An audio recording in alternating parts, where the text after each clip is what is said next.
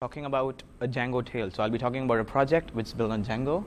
So I'll be talking about a project named Scan Code Server, and we built this as a part of Google Summer of Code 2017. And uh, I was a part of organization named nexB in California.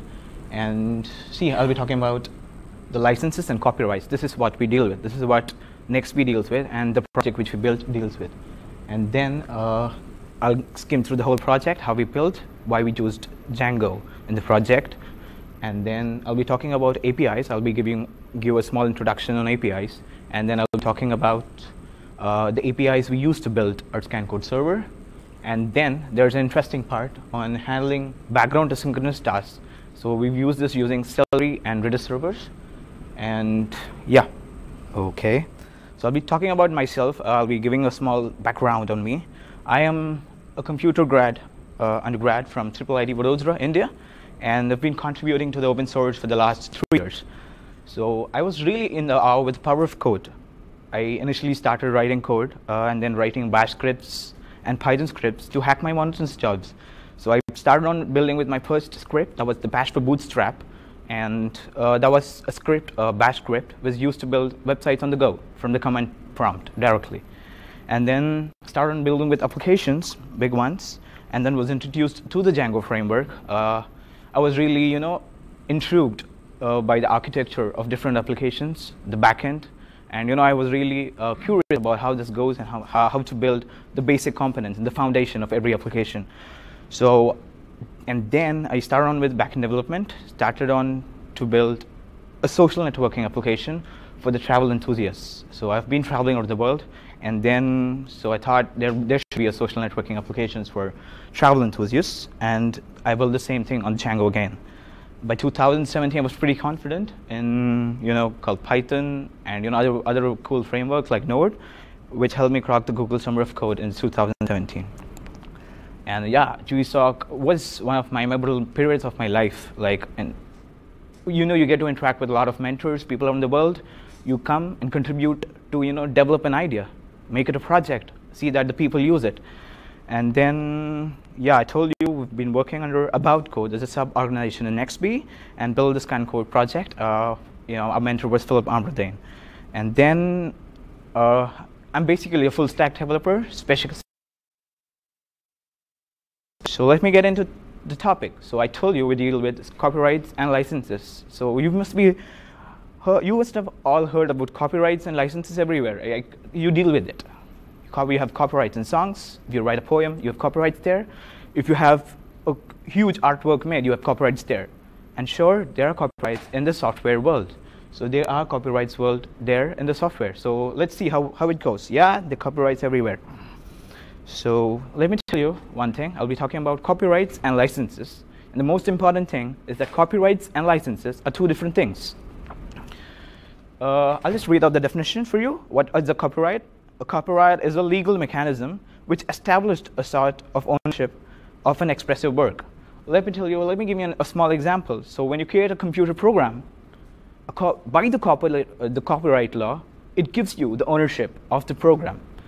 Okay, so it gives you the ownership of the program. Now that you can add any license so that the other people use it.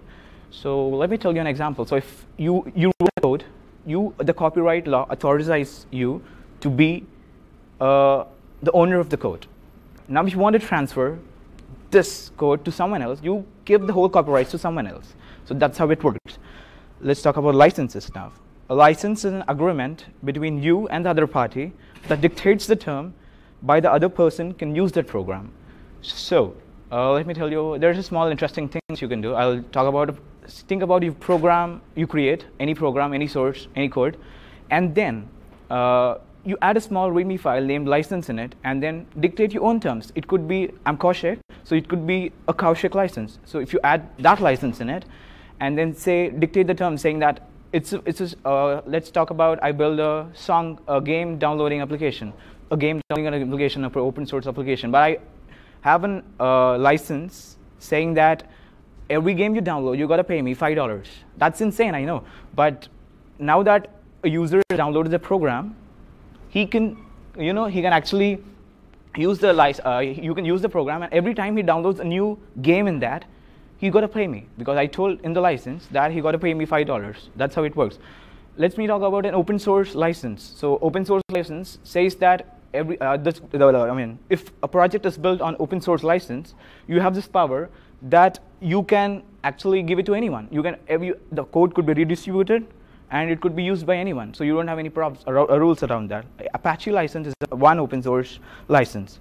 So without the license, if you made a copy of your program and either used it or redistributed it, you will have a legal case that will allow you to attempt and collect damages from them. So yeah, they're two different things. So copyrights are the legal systems which gives you control over your creative works, whereas licensing is a legal mechanism which allows you to form agreements with other parties how they use the copyrighted work. So the other parties could be a huge business, or it could be a small set of people, or it could be any person using your software. Okay. Mm, so yeah, you pay, you're forced to pay license fees for using a popular meme. I don't know, but that, that's very sad. I'll be talking about scan code server. So now that you've actually got a basic idea on licenses and copyrights, I'll be talking about the scan code server, which deals with it. So most importantly, uh, okay, I've built this around like the last year, and then uh, nexB Inc. is a Calif in California, is our organization, and they've supported me build this uh, with one more contributor. Uh, so yeah, I've told you we built this as part of Google Summer of Code. Uh, I'll be talking about our company bit, and then so you'll get a brief idea. So nexB is a company that solves the problem of discovering, identifying, tracking, and managing open source and third-party components used in your projects, applications, and systems. So we build modular tools for software development teams so that each team can implement a workflow tailored for its set of languages. It could be a technology or tools. We call this set of tools AboutCode. So yeah, so I'll be talking about scan code servers. So for building scan code server, we used scan code toolkit. So it's a toolkit. It does, a scan code a toolkit is a suite of utilities used to scan a code base for license, copyrights, package manifests, dependencies, and other interesting information that can be deserved or discovered in a source or binary code files. So think of, uh, think of, think of, I'll give you an example in the real world. So where could we use this, uh, you know, project? So think of Uber, okay? Uh, they're just small, think of another company, which is really cool. It builds some really cool map API, and it has really good integrations in it and uh, but the Uber company likes it and they want to own that now. But it has to show the authority of it. It, it has to know how authoritative it is. Like you exactly don't know. The license in the project says that this this I mean this whole project is yours or it's someone else. So the authority is really important over here. So for Uber to buy this from, it has to see the authority. You know.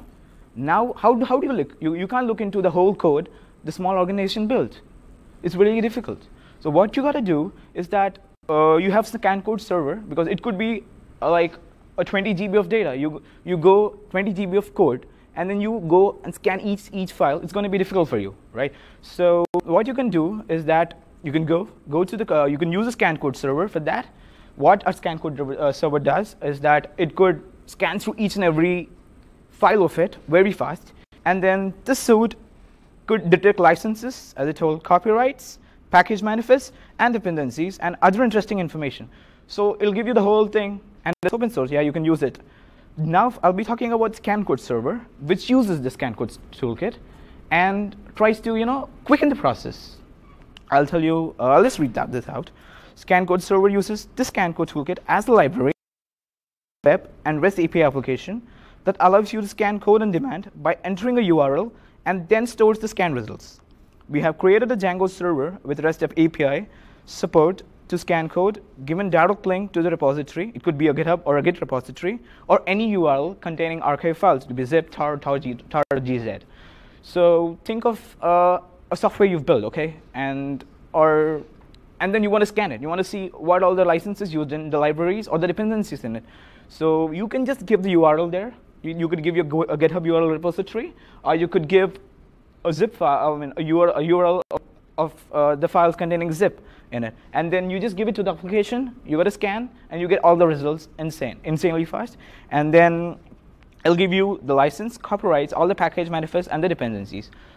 It, only, it, it not only shows you, it registers you as a user, stores all, all, all the information is stored in the models. And then you get to see your previous information, the, the you know, the projects you scanned or the licenses you used until now, everything. I'll be talking about why did we choose Django. There are a lot of frameworks out there, but why did we choose Django here? It's fast. It's pretty fast. This has been designed in a way to help the developers make an application as fast as possible. From idea, production to release, Django helps in making it both cost effective and efficient. So it becomes an ideal solution for developers having primary focus on deadlines. And yeah, Django has a huge, huge community to support. It's there. It's growing. It's very, it's growing very fast, so that you have a lot of libraries to contribute in. Also, it's fully loaded. It works in the way that includes dozens of extra to help with user authentication, sitemaps, content administration, RSS feeds, and much more. You just have things on the go. You have everything right there for you. And then talking about the security, when you're doing it on Django, it is ensure that developers don't commit any mistakes related to security because you have they have this thing called CSRF token, which is uh, you know which actually helps from SQL hacking and SQL injection. So some of the common mistakes include SQL injection, as I told, cross-site request for forgery, clickjacking, cross-site scripting. This all has everything built in Django so that you know you know to worry about the security part.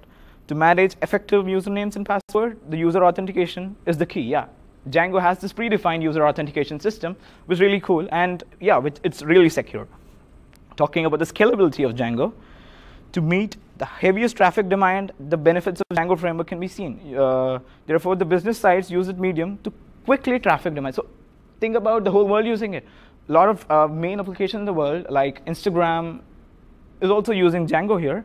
And then, yeah, it, it's actually handling huge amounts of traffic. So that's the reason we actually used Django framework to build a project. Yeah, and for any application to build and to outsource data, get data, send requests, and get the response, you actually need an application interface. So I'll just give you a brief introduction on application interface, how it's used and why, I'll, uh, and its use cases. So API is the acronym for Application Program Interface. It's a software intermediary that allows two applications to talk to each other. Let me give you an example. Uh, think of you open you have opened your face, uh, Facebook account, and you have you, you need to sign in. You're a new user. Okay, you enter all your information. You enter your username and all other details, and then you click on the sign up button. What happens next? There's a UP API which is used here. The API sends the data. I mean, there's a request being processed from the application to the server of Facebook, and then the, what this API does is that it actually stores your information in the database and sends back a response, and the body says it's successful. It, it gives you a 200 uh, response, says that the thing is successful, and you are a new registered user of Facebook. So this is how an API looks like. Uh, it's, I think I've given you a simple idea. So when you use an application on your mobile phone, the application connects to the internet and sends data to a server. The server then retrieves the data and then interprets it, performs the necessary actions, and sends it back to your phone. The application, uh, so look at this. Uh, so when we talked about this Facebook authentication system, how it works and all, so it takes the information, goes to, uh, the, all the information goes to the server, the Facebook server. Everything is, you know, uh, interpreted there. Like all the software programs are building there, and then the, whatever the response from the API, you get it as, uh, as a response here, in, and it's seen on your application. So this is how it works. So this is a thing, thing that that's your app application, and then you, uh, you send a data request to the backend. It could be a post, get, put, delete, custom, or any request. The data is fed in to the server now, and the, the backend server now uh, you know, registered, uh, you know, crunches all the information in and gets the basic information you want it as response to the application. That's how you get, and that's how an API works. So this is the basic API, uh, which actually gives you all the queries of the users in, inside an application. So this this is a small example of that. And when you if you want to look into the API of user view set, so class user view set, that's an API there. It's an API endpoint allows you to allows you to view the users, and you know you can actually use your users and edit them. If you want to look into the response, how it's generated after getting it back to the server, this is how it looks like. This is the response. So this is a formatting formatted in JSON. This is the JSON. You can see that the count is two, which says there are two users there, and then they say the next there's no next user and there's no pre. It's uh, so this is the JSON which you get back. The email ID of the user number one. Here you get the email ID of user two. And there are other details of the users there. So I'll, I'll be talking about handling background servers tasks using Celery. So a single server handling all the tasks is really difficult. Now you use, you know, you have to have something which actually, you know, scrutinizes all the data, make it fast, and scan a lot of things. So think about if you are actually sending huge amount of this is just text where, where it's in MB or it's in KBs. If you want to actually uh, basically what do you call if you want to send in huge amount of data like 20 GB or 30 GB and it has to work there. You got to use uh, background asynchronous servers for that. It will create you multiple servers there, and then every in each server the data is fed into. I mean the whole data is actually divided into chunks, and in each chunk is divided into a new server there, and then the server give, gives you the results. All the results are aggregated at one place, and then you get a response. That's that's a better way of handling big tasks. So web application usually start out simple, but it can become quite complex, and most of them exceeds the responsibility of responding to HTTP requests. So when that happens, one must have a distinction between what has to happen instantly. If you want to have something instantly, you need that thing to happen fast. And then what, what can happen eventually? If you have time, you can use the normal server. But if you, if you want to view something instantly, you have to use the background sync uh, server so that all the information is scanned very fast. So, well, because your application becomes overloaded with traffic, simple things like this can make a difference. I'll be talking about tasks that can be processed in the background. So tasks that are not essential for the basic functionality of the web applications, the tasks that can be run in the request response cycle since they're slow, and the tasks that dependent on external resources that might not be available due to as behaved or expected, and then the tasks which might be needed to retired at least once or have to be executed on schedule. So all these you know, scenarios needs asynchronous background servers to handle the scenario. So I'll be talking about Celery, and Celery is an asynchronous task queue job, queue based on distributed message passing. So Celery is the de facto choice of doing background tasks processing in the Python Django ecosystem. It has a simple and clear API. It integrates beautifully with Django. It supports various technologies for the task queue and various paradigms for the workers. And uh, see, so I've, I've talked about you sending a huge amount of data. Let's talk about scan code server itself. You send 20 GB of data to get scanned, okay? And then, now that you've sent the data to the server, you can't scan the whole thing at a time. It's going to take a long time if you have only a single server to do that.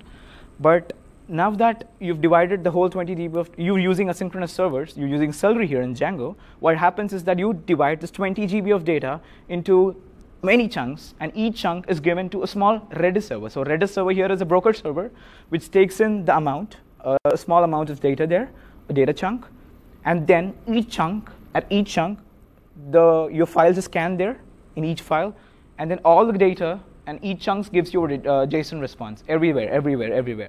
And then the whole JSON response is then aggregated into one single platform, and then that all the data is fed into the models. So here what Celery does is that Celery actually queues, queues all the servers, queues the data, and then uh, you know helps you you know get in track with asynchronous system. So this is basically the architecture of the scan code server. You have a Django server built in. All the data, as I told, is gone into the server part. And then what happens is that it's divided into multiple chunks, as I told. Uh, we're using a Redis server here, okay?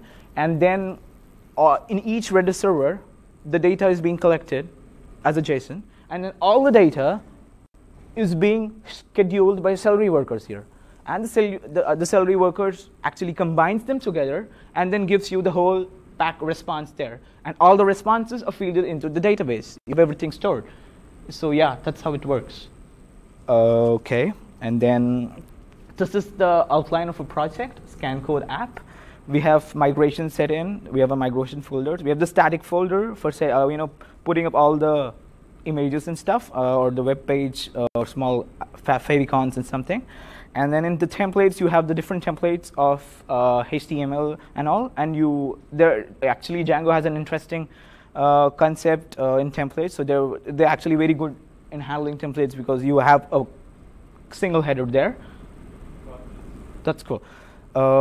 Uh, and then I'll be talking about, uh, so this server, okay, it's not so important here. I'll be talking about the major APIs of ScanCode server. Let, uh, look into the URL API, which allows the user to enter into the direct link of the code. So as I told you, you it can accept GitHub, GitHub links. So what happens is that it actually takes in your GitHub, GitHub link. Now, it has to know. It has to know which URL is that. It has to actually identify. So we have small uh, regex matcher for that to identify whether it's a URL or an archive file or some file which doesn't contain the file at all, a URL which doesn't contain the file at all. So, so the API segregates the URL using a regex matcher and then clones or downloads the database at certain path using an asynchronous background task implemented using Redis and server. So as, as I told, we, we take in uh, what do you call the URL here, and then the whole URL, it, it scans for, it actually you know matches for the URL. Think of its uh, GitHub URL. It downloads everything there, downloads as fast, and saves it on your PC, or it could be uh, on the cloud, and then scans, uh, and you, all the Redis workers are worked upon there. Uh, so this is how the URL works. I'll so now the downloaded code base is now scanned using the scan code library, and the resultant scan results are fed into the models, as I told you, into the scan code server. There is a local upload API, uh, which is similar, which is quite similar, where you can upload the data, and the whole thing works in the same way as the URL API. So this is actually the JSON result of scan code. Okay, uh, so that's the URL, and you get a lot of information there. It could give you like license, copyrights, and a lot of things, packages, information, the scan code error. Okay, uh, this project is available on GitHub for you, and yeah, it, it is, there, there could be a lot of things done here. You could add a Travis integration, uh, saying that which could actually you, whenever you build a project directly into your repository, you can add a Travis repository here, and then it could scan automatically without anything and give you gives you the result. So that's our, that's it for now. Uh, I think I've you know managed to talk about copyrights and stuff, and my project Scan Code Server. So yeah, anyone up for some questions? Okay. Fine, fine. Thank you. Thank, thank you very much for your presentation. Yeah, thank you very much.